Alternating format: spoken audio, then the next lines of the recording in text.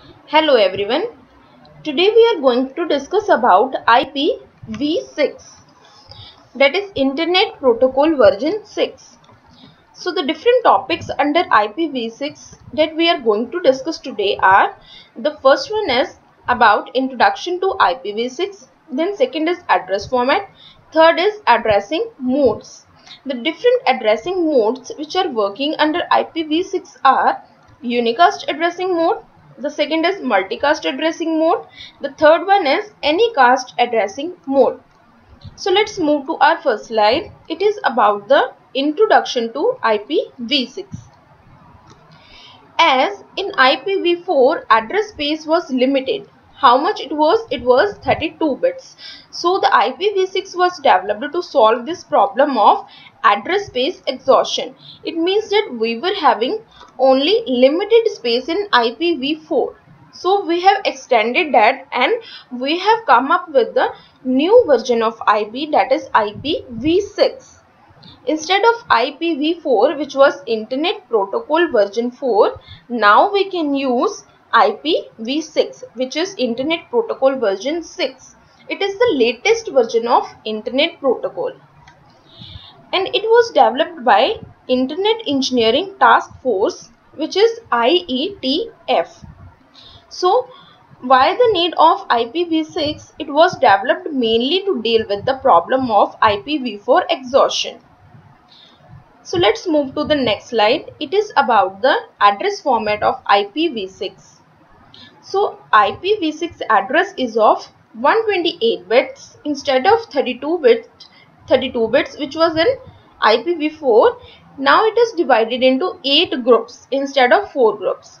So the next point is each group consists of 16 bits and these are separated by colon instead of dots. So the third point is each group is separated by 4 bit hexadecimal number. So here is the example also given in this slide. We can view that this is the example of address format of IPv6. Here we can easily distinguish between the 8 groups 8 groups which are separated by the colon. And here are also hexadecimal numbers present in bits. So let's move to the next slide.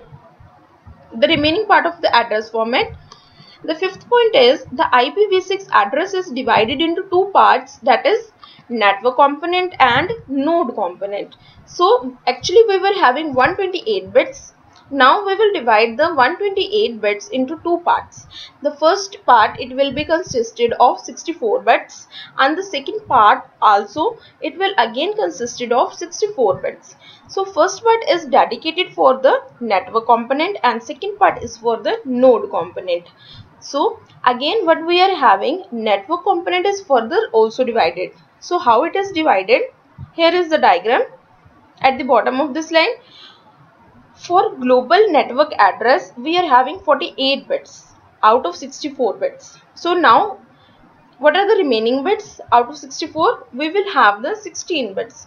Now the remaining 16 bits it will be for the subnetting on the internal network. It means that some bits are dedicated for the global network addressing and some are for the internal networking.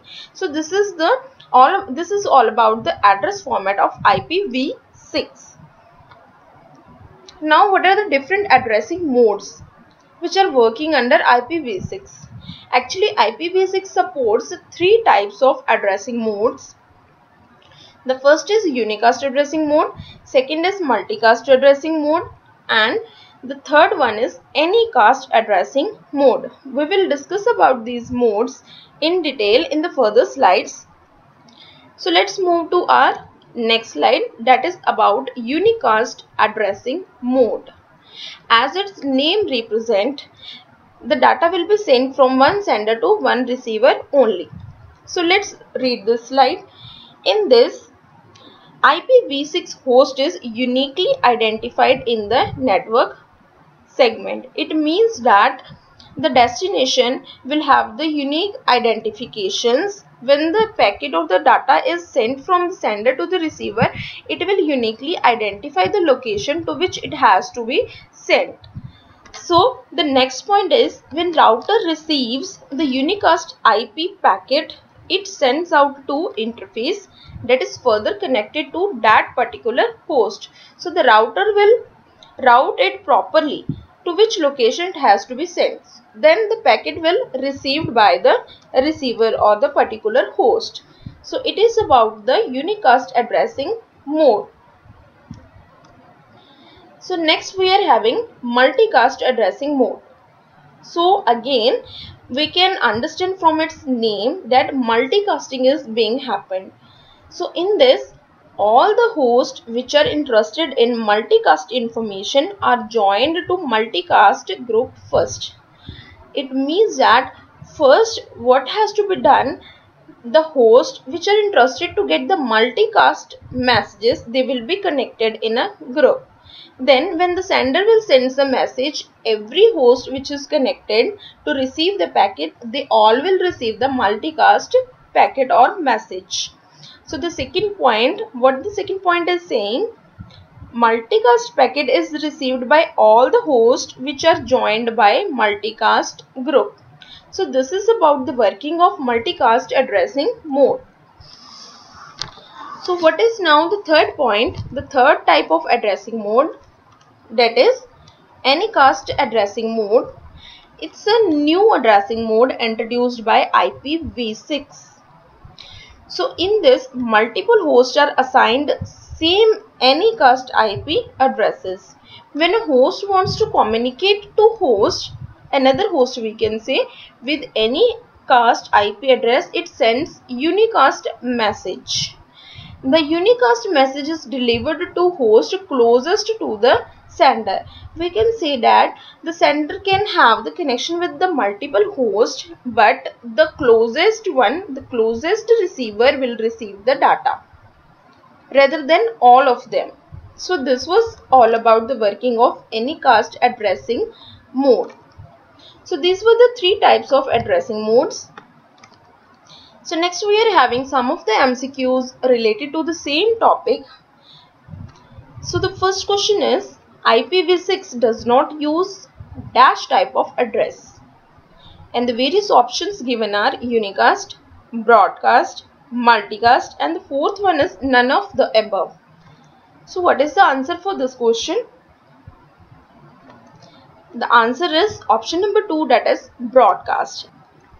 So let's move to the second question. Our second MCQ says the size of IP address in IPv6 is and the various options are the first option is 4 bytes then 128 bytes the third is 8 bytes and the fourth is 100 bytes. So what is the correct answer for this question? This is very simple question so the size of IP address in IPv6 is 128 bytes.